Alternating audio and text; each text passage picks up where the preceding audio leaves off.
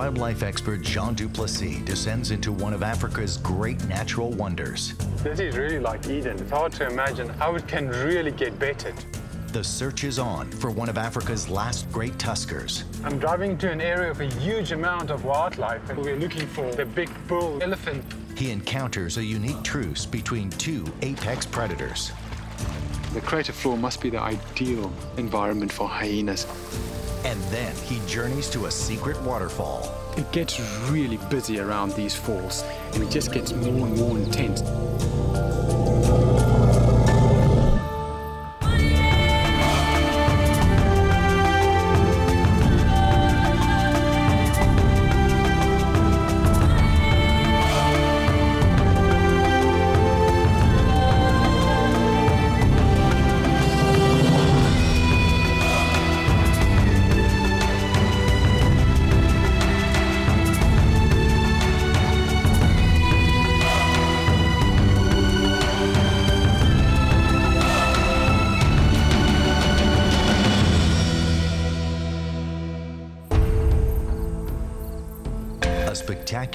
Wildlife ecosystem is not something that happens by chance. It develops over time, where everything in it evolves together, influenced by the weather and shaped by the geography of the land. When these two elements work in harmony, the results can be spectacular. One of the best examples of this is in northern Tanzania. It has been called one of the greatest natural wonders on Earth. This is Ngorongoro. The Ngorongoro Highlands is a series of extinct volcanoes that once stood as high as Mount Kilimanjaro. A cataclysmic eruption two million years ago caused it to collapse, creating a massive crater 20 kilometers across and 600 meters deep that today is home to the highest concentration of mammals in the world. Volcano's outer slopes are covered by a thick montane forest that is home to a healthy population of elephants. Just by itself, Ngorongoro is spectacular. But it plays a far bigger role in the ecology of the area. To its north, Ngorongoro's major eruption buried the surrounding area in a thick layer of ash, creating the Serengeti Plains. The Ngorongoro's highlands act like a barrier, trapping the seasonal rains and turning what would otherwise be a dry and dusty plain into a lush green ecosystem that supports an incredible diversity of wildlife. But where it gives so generously to its north, it denies on the south. This is the Great Rift Valley. It's a massive scar caused by tectonic forces that are splitting Africa in two. It's home to many different animal species, including a healthy population of elephants. But in the dry season, the elephants all make their way inland to Lake Manyara and Tarangire National Parks. Both are in Ngorongoro's rain shadow. Although the area does not get abundant rain, the Ngorongoro Highlands offer the southern land's water that trickles down from the mountains. That bit of water is a lifeline that sustains a small but rich and diverse ecosystem. Wildlife expert and safari guide Jean du Plessis is at Lake Manyara National Park. The water coming down these waterfalls behind me is a result of rain that falls up in Ngorongoro Crater Highlands and then siphons through the ground and ends up in these streams that all rush out into Manyara. This is the point where this Endabash River will disappear into the sand and continue down to the lake as an underground river. It's interesting to see here where the water disappears into the sand that it's like a minefield of elephant droppings. This clearly is the most favorable place for elephants to come and have a morning and a late afternoon drink. And the whole time during the day, we'll have different herds coming through. At the moment, we are in a bit of an in-between season where there's quite a bit of water coming down the falls, but as we're progressing into the dry season, the point where the water disappears will become closer and closer to the base of the waterfalls up until where we get into the middle of September, October, where it's extremely dry and the only thing we will have would be a tiny trickle of water coming down the rocks and a tiny puddle at the base of the waterfalls.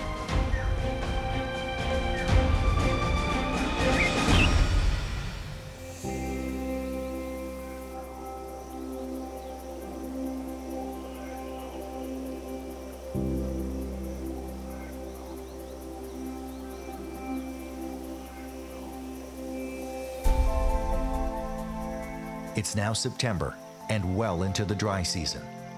The rains in the Ngorongoro highlands have stopped and the waterfalls have been reduced to a trickle.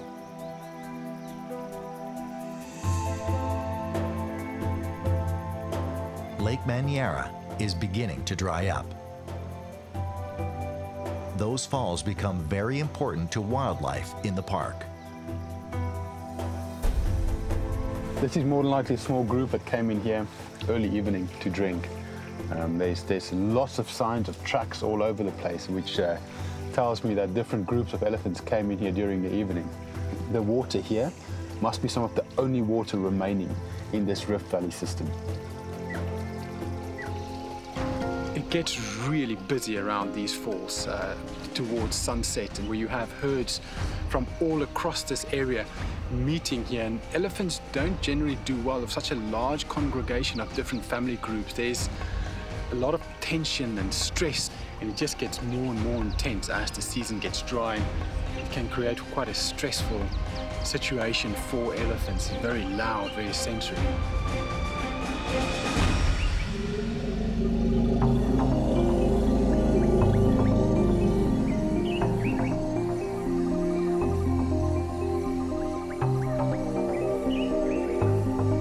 So many females drinking at the falls that it attracts the attention of a male elephant that has come into musth. And that adds another dynamic to an already tense situation.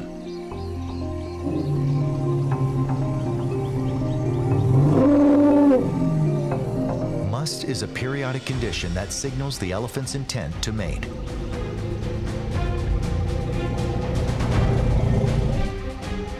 Elephant males only go into musth every 10 or 12 years. When they do, their behavior becomes erratic, even dangerous. Their testosterone level can be as high as 60 times normal levels. Even the most placid male becomes territorial and aggressive.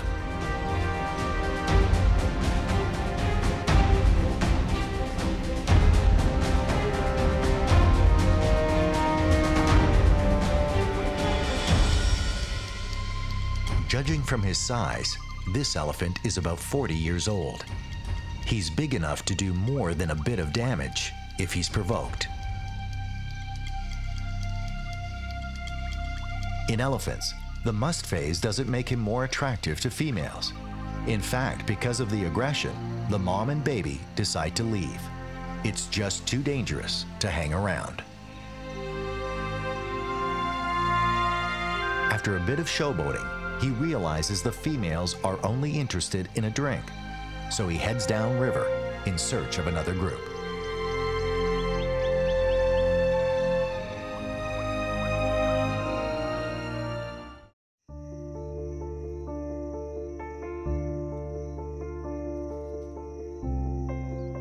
It's now October in Tanzania's Rift Valley, and it's several months into the dry season. Wildlife expert and safari guide Jean du Plessis has moved on to Tarangire National Park. Several months without rain has caused many of the park's rivers to dry up. This is life in the rain shadow of the Ngorongoro Highlands.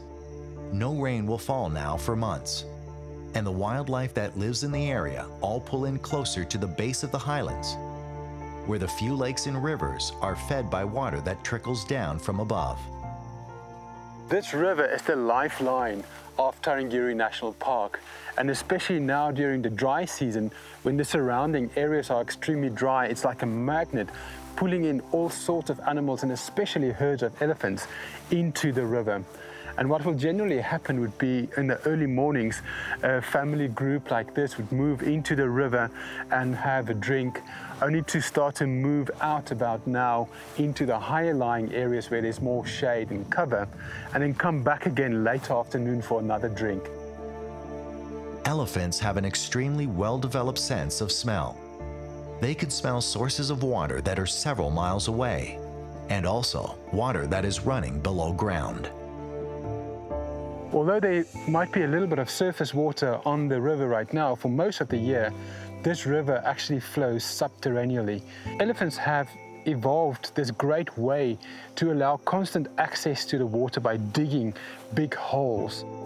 I'm going to just do a little dig here to see how deep the water actually is. And the deeper you go, you eventually start to access water. This time of year, an elephant does not need to work hard at all, but as the season dries out, they will have to dig bigger and bigger holes.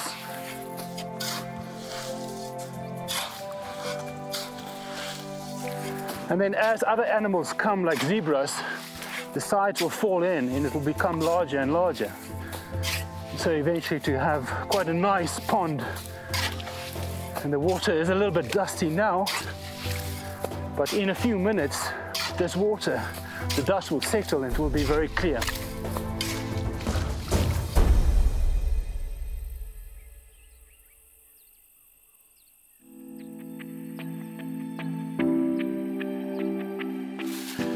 This is the baobab tree, which is such an iconic feature on these dry African landscapes. And it's a tree that creates a lot of debate between scientists. Obviously looking so enormous, it must clearly be very old.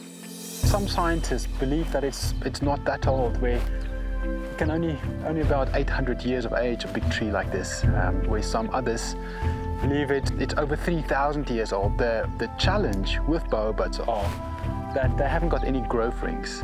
The tree is actually hollow inside and um, very, very fibrous and actually quite soft. And generally soft wood trees will grow quite fast. These trees form the most incredible habitats for all sorts of animals, from insects all the way through to man. And um, it's commonly known that these hollow insides of baobabs have formed houses, hides, and even shops to some human communities. Out here in Tarangire National Park, where this is probably one of the most common features of the park, it's home to baboons, leopards, uh, quite commonly occupied by an owl. The danger for these trees are when a severe drought might hit a system that elephants can actually completely destroy them. If too many elephants start to feed on it and use their tusks to break off pieces of tree, it will kill a tree. One can clearly see here how the, the bark has been ripped away by elephants and there's some tusk marks here where elephants will come in and put their tusks in and rip out pieces of this bark. Almost all other trees when the bark is stripped completely around the tree will die because nutrients cannot move up and down anymore. But baobabs are completely different where it's not dependent on an outside bark. These trees will continue to survive and that's a great feat to survive in an environment full of elephants.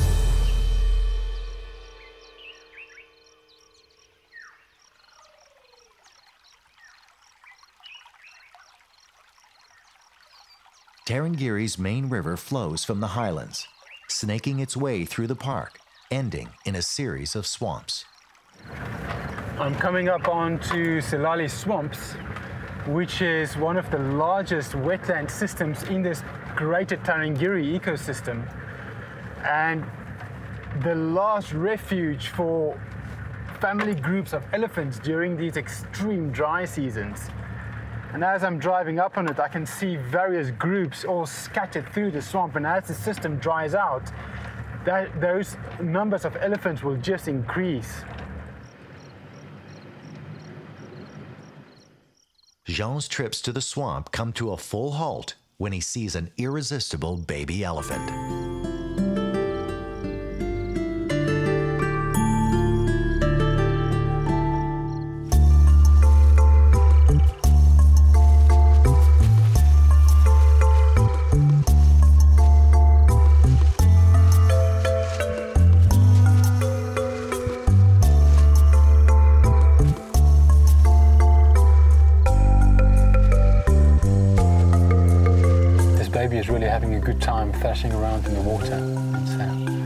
Interesting that none of the other elephants are in there and it's clearly having a fantastic time, just rolling around, getting completely submerged.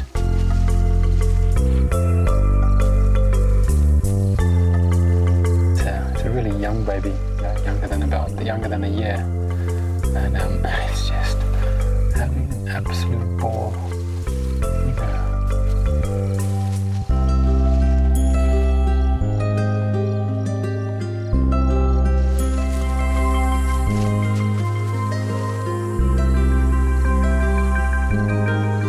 Younger than a year, and a, a good way to tell age at such young age is that they can fit under the belly of a mum.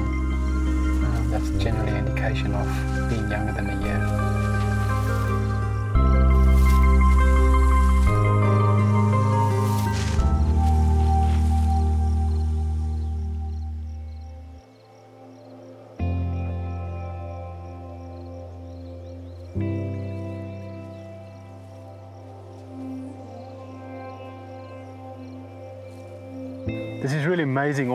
All where there's herds of elephants everywhere, little family groups here. There's a group of 50 right around me. And then all the way through the swamp, there's tiny family groups just making the swamp full of elephants. And it's the younger ones are much more to the shoreline where it's not so deep. But all the way into the center of the swamp one can see big males standing. And the only thing we can see of them are the ears flapping.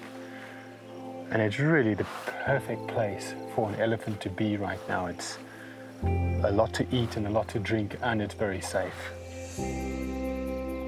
One thing about Tanzania, it's just fantastic, is that you've got these endless corridors of especially animals like elephants that can move fairly undisturbed from areas as far as Ngorongoro crater coming through those montane forests into Lake Manyara and then can follow a corridor around Lake Manyara all the way into Tarangire. So, in effect, the old bull could have really been born thousands of kilometers from here and slowly through his lifetime made his way across and through these different corridors to end up in a place like this.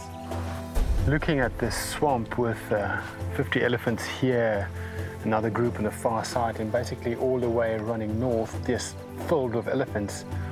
It's hard to imagine how elephants can be endangered.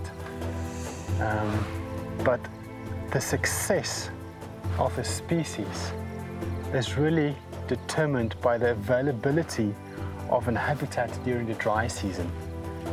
Of course, there's a lot of areas for these elephants to go to when it's wet, but it's the protection of these areas that can give them or can guarantee them survival during the dry seasons. That is very important to look after and it's these microcosms such as Silale swamps, the crater floor, Serengeti plains where elephants have a safe haven to go to when conditions get too harsh outside of parks and uh, harsh can mean many things you know in this case it's dry no water but as human populations expand and it becomes harder for elephants to find that safe refuge, this will be where it is into the future.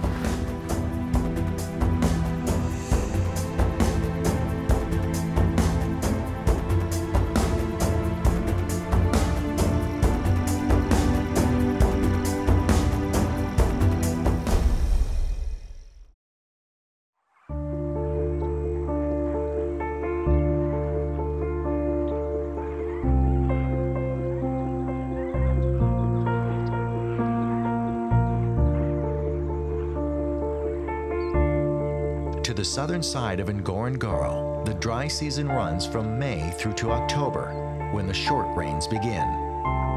The name doesn't refer to the amount of rain, but rather the season. The short rain season lasts only for a few months, and it very quickly brings an end to the dry season. All of last night I could hear loud thunder on top of the escarpment, which clearly indicates massive amount of rain. And this river have a huge catchment area. This morning there was a tiny little trickle coming down the rocks, but now it is steadily increasing to becoming huge currents. And I expect this afternoon these rocks will be covered by water coming down off the highlands.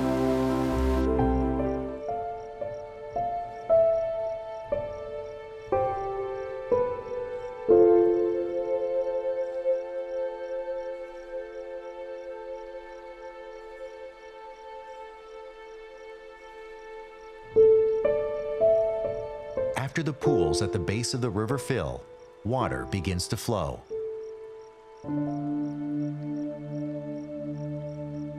At first as a trickle in the sand.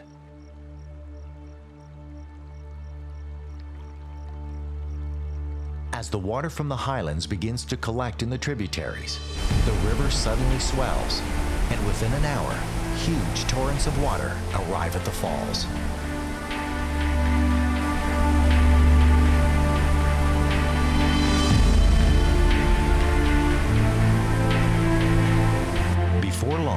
Group of elephants emerges from the forest. They have smelled the water. They know the river is flowing.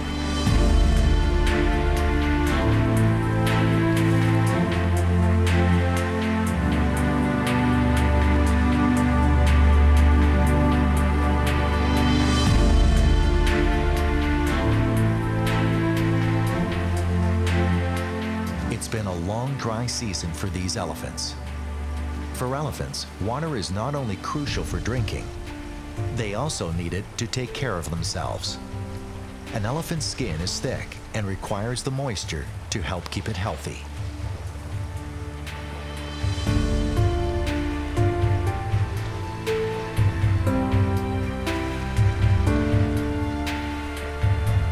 I'm sitting in our Manyara camp and this large group of elephants came down to drink at the river.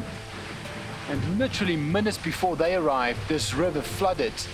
And a river that had no water in this morning suddenly was full bank to bank. And it was quite interesting seeing the obvious joy in them to be going into the water and enjoying a late afternoon drink.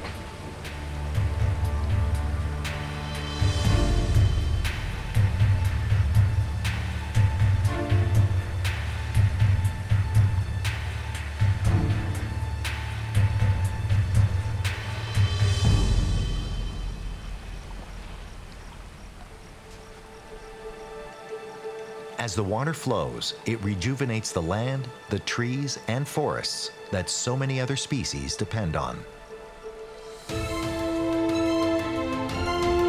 This Endabash River is by far the largest river flowing into Lake Manyara.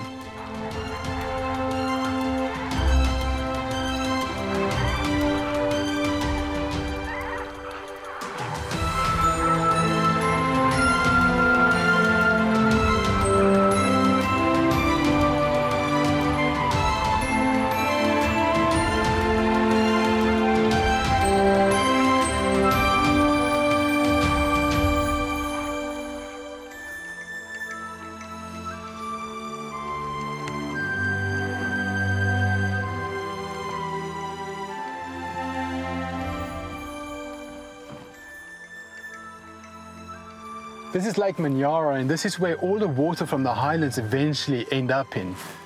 This is a really old lake, estimate about 3 million years old, and it used to be at least five times the size of what it is today.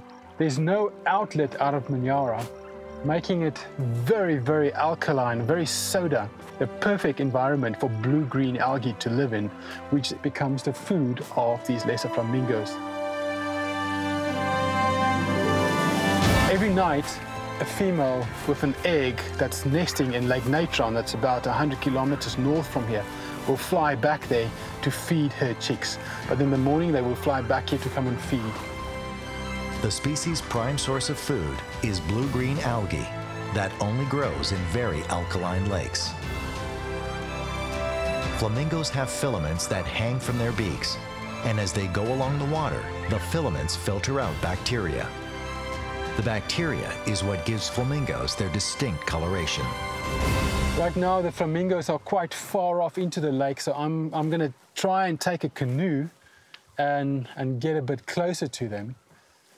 However, this lake is very shallow and it, um, I, I might have to push the canoe quite a bit before it will float.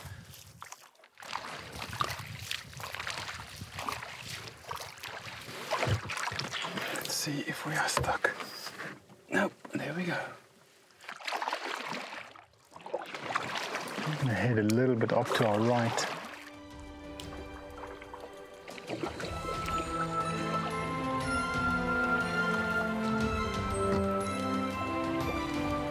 Getting a little bit closer to these flamingos now. You can see that they, you know, they've been sitting here in the middle of the lake for the whole day, so their wings are stiff. And they definitely seeing me, and they're starting to spread their wings out and uh, getting it ready to fly if they have to. But it's interesting for me that um, they, uh, they are all in a band here. Maybe there's a soil change you will find more blue-green algae. So uh, just slowly drifting in. They are looking at us into the sun, so we might be able to get slightly closer than what we would being on the other side. They're getting a little bit nervous of us coming closer. The sub-Saharan breed of the flamingos are the lesser flamingos. The name refers to their size. They're the smallest of the breed, but even still have an impressive wingspan of 90 to 105 centimeters.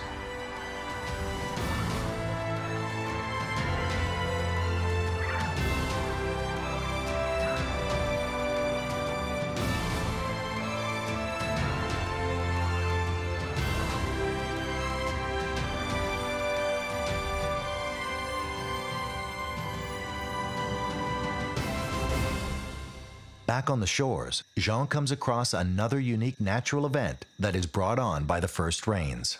I'm on the shores of Lake Manyara and the sun is setting. And as the sun's going down, one can see this reflection of millions of strands of silk. And um, it's really interesting what it is. It's a newly hatched spiders that's doing something called ballooning. So they, they would climb to the top of a, of a kind of piece of grass and just start to release silk. And as the silk gets longer and longer, eventually the wind just lifts up this entire spider and blows it away. And this is how spiders get distributed all across the world. And uh, a spider like this might end up in a thermal, taking it 50,000 feet into the sky and blowing it to the other side of the planet. It's absolutely everywhere, and it's astonishing that one never sees these spiders, but all around us are millions. There's one right here. And um, tiny spiders that making their, their little bodies into a, uh, like a ball and just kind of cruising through the sky.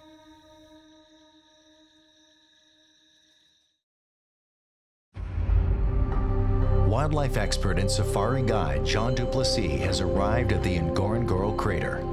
It's a spectacular volcanic caldera that was created over 2 million years ago when the Ngorongoro volcano erupted so violently that it collapsed into itself, forming a perfectly symmetrical crater 20 kilometers across and 600 meters deep. Today, the crater floor is home to the highest concentration of wildlife in Africa, including all of Africa's most iconic animals, like lion and hyena. It's also home to a number of Africa's last big tusked elephants. The big tuskers are older males drawn to the crater floor's many swamps. There is one elephant in particular that is of interest to Jean. The word is that an old male with magnificent tusks has not been seen in a while, and there are concerns that he might have died. This caldera is such an amazing natural environment and especially for old bull elephants this is like a, a final retreat where they come and live their last days and there's one particular bull that I would love to see. He, um, he's got the most amazing ivory, about 100 pounds a side. And it's a very rare sight these days to see these big bulls, and especially big bulls with big, big ivory. Um, there's been talk about the, the large remaining large tusker dying in the crater. But recently someone said there's still one left, so I'm, I'm off on a mission today and try, to try and find him. Africa's tusker numbers have been decimated by sport hunters who have targeted them specifically for trophies and by poachers who kill elephants to supply the illegal ivory trade. I'm driving to an area with a huge amount of wildlife and there's scattered bulls of elephants in between the wildebeest and zebras and we're getting going a bit closer now to see if uh, the big bull we're looking for might be in between them.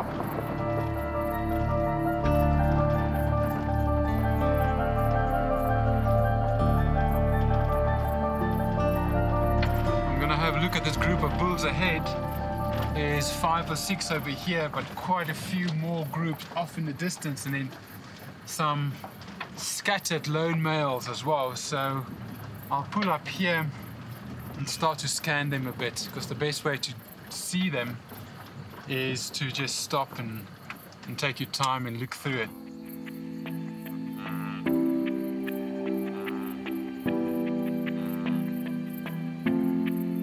There's a lot of bulls down here with some seriously large ivory, but it's not the one we're looking for. That elephant we're after have ivory that's almost touching the ground and he's struggling to walk. He needs to keep his head up. It's extremely rare to see elephants like that and he likes to hang out in swamps. So uh, we're gonna have to continue and look a bit more. However, these ones have impressive ivory as well.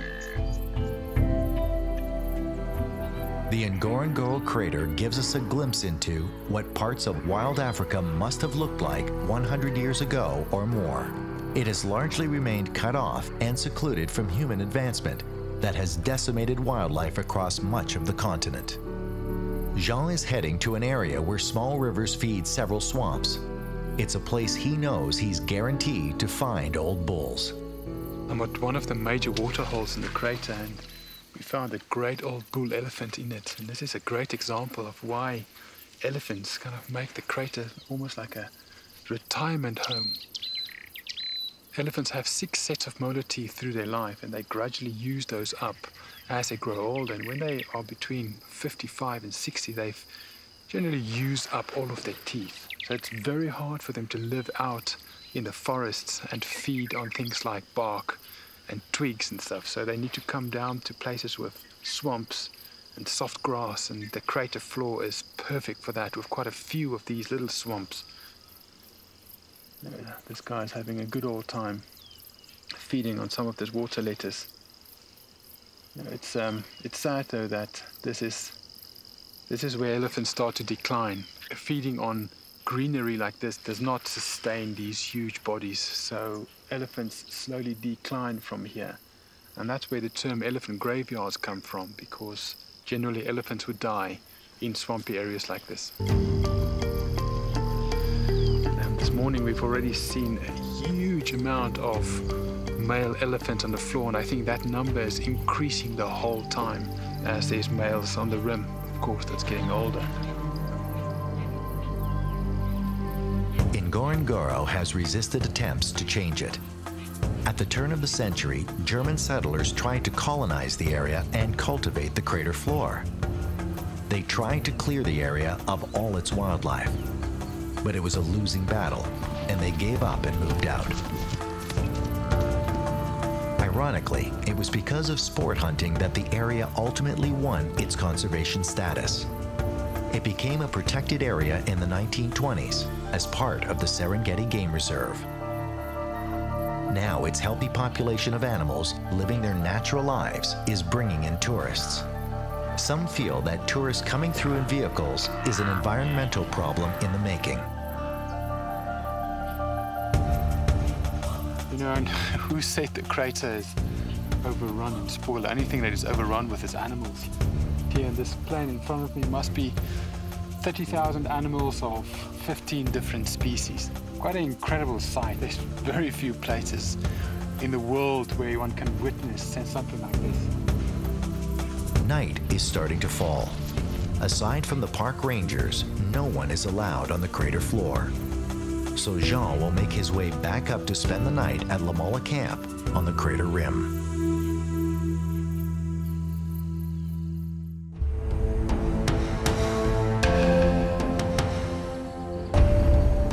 Wildlife expert and safari guide Jean du Plessis is in the Ngorongoro crater, where he is searching for one of the last great tusker elephants. Tuskers are elephants with enormous ivory, and they have been in steady decline in Africa because of sport hunting and illegal poaching for ivory. He is searching for one particular male, a legendary old and rare elephant with tusks so huge it has difficulty lifting its head when walking.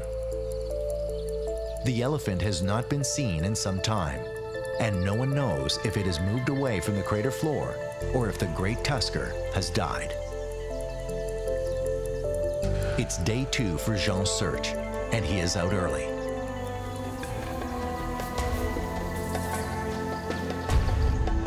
Ngorongoro has a high population of elephants, but they are usually found in the montane forests above. There's a breeding herd of elephants on the crater floor, and this is extremely unique. In, in 20 years of working and being on the crater floor, I've never seen females and calves right here on the on the bottom of the floor, sometimes on the edges of the forests. But to see them on the floor is almost unheard of. They are very nervous. They they are running from side to side, and any vehicle starting up and any new noise obviously scares them, and they change direction. It's not an uncommon thing to see elephants on, on open plains like in the Serengeti, but that would be a matriarch that, that knows the area. She's been there many times, and her confidence trickles down to the rest of the herd, making them all feel confident. This is completely the opposite, where they are all nervous, they all have their trunks up the whole time, smelling, trying to take in new scents. This matriarch has never been here.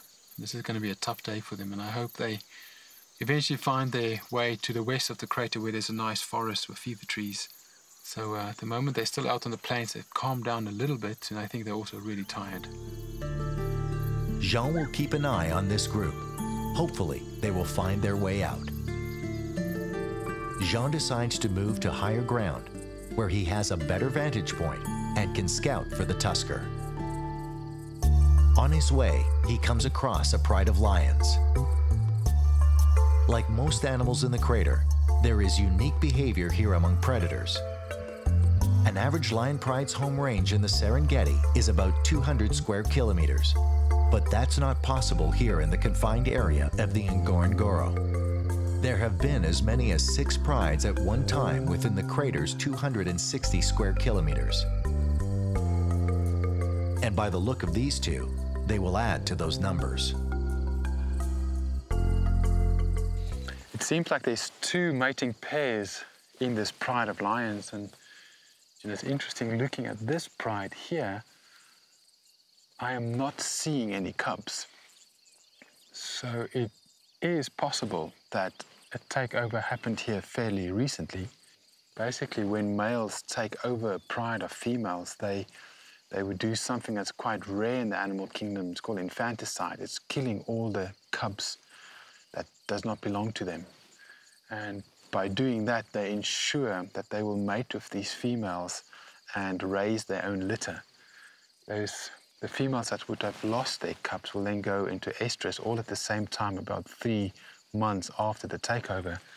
So the males will mate with them. So generally, all the cubs inside a pride will be the same age. Unlike the Serengeti, where lion territories and territorial males change often, shaking up the gene pool, the crater population has remained static, which has led to problems at times. Inbreeding has weakened the genetics of the population. Lions have an interesting hierarchy. The females do a lot of the hunting and raise the cubs. Once the cubs are born, it's the male's job to keep the prides intact by defending against roaming or nomadic males.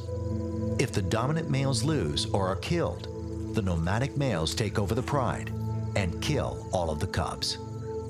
So Mother Nature has come up with a unique solution.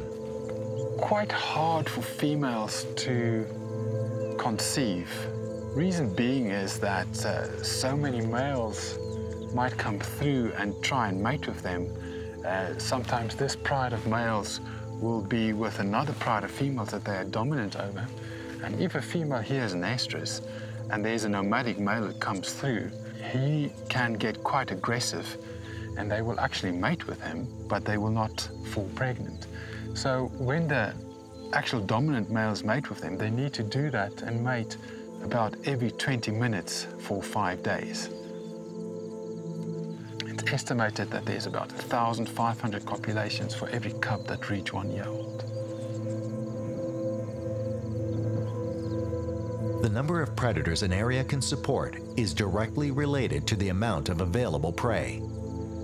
Unlike the Serengeti, where much of the prey species migrate through a predator's territory for a short period, in the crater, the populations are resident and fluctuate very little. That makes for a more stable food source.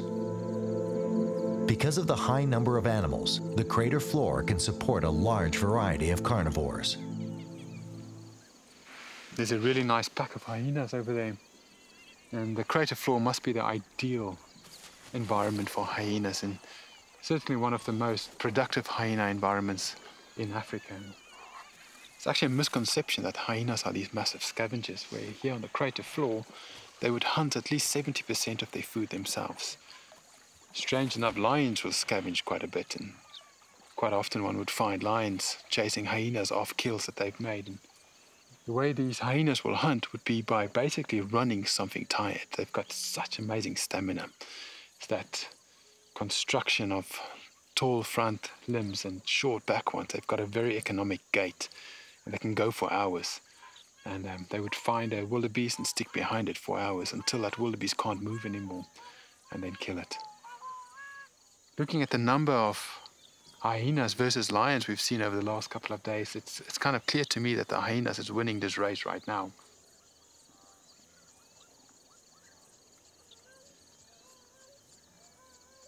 There's a really nice group of hyenas here with a lot of young pups. Pups of different sizes and ages, and there's, a, there's two females. It's probably from the two of them. Within a hyena clan, there's a lot of jealousy and competition because of a hierarchy. The pups of the dominant female or the alpha female will always be under attack by lower ranking hyenas and their pups. Hyenas also have extremely rich milk, so that enables a mother to go off and hunt, feed, and potentially stay up there for a night or two before she will come back and feed her cubs, and the cubs will survive just on the milk that they drank before. This uh, female off here to my right is a little bit bloody. She might have been in a fight, or they might have made a kill last night.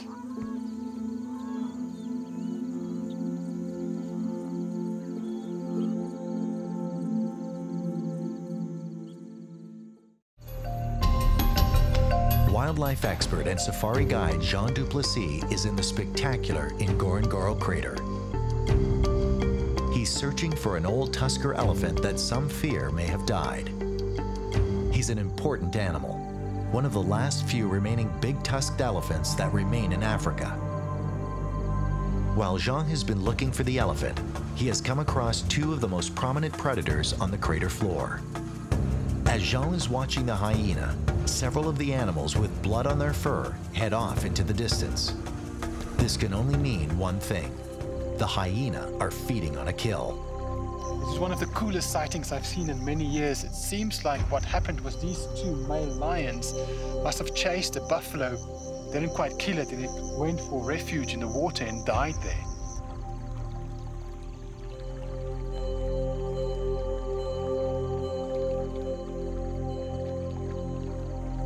These hyenas must have seen what was going on, and now they are literally diving under the water, completely submerged, to take mouthfuls of meat. These two male lions are just lying on the edge, uh, basically looking at their food, going for the hyenas. lions and hyenas. Normally, the two species battle over food and often steals each other's kills. But Jean finds the two species showing some unusual tolerance for one another.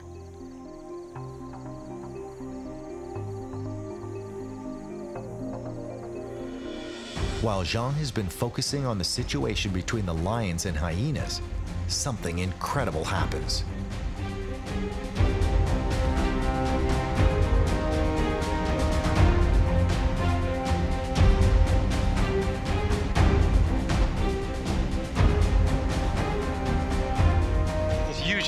We've been looking for the last couple of days just walked right through the scene.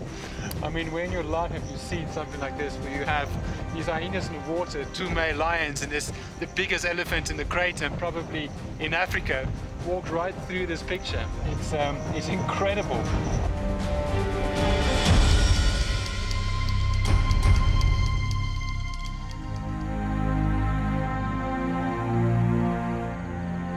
The most amazing tusks. This must be one of the largest elephants remaining in Africa, and especially the size of his tusks.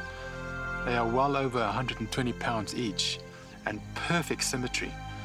It's um, very, very rare to see an elephant like this, and there must really only be a handful left in Africa. And this is one of the last of a kind. The gene of big tuskers are getting less and less, and it's going to be many years before elephants like this are out in the wild again. The crater is just such a perfect environment and place for these old males to survive and get old. All around the edge of the rim are observation points where rangers are looking into the crater and making sure that no poaching happens. And it's kind of been like this since the early 1900s, and poaching has been really, really under control here on the crater floor allowing huge elephants like this to become old and massive like this. This old elephant may be the last of a dying species. For decades, elephants with large tusks have been killed for their ivory. Scientists believe that with the big tusk gene being eradicated, elephants are now being born with smaller and smaller tusks. And it's possible that one day we may see elephants with no tusks at all.